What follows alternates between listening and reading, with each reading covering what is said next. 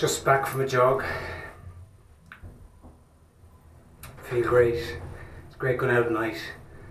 You see different sides of the city. You see the cops flying by there and the Luas, people going home from work, people going out for drinks, people out drinking, drugs being taken. Guys like me trying to get fit, trying to lose a bit of weight.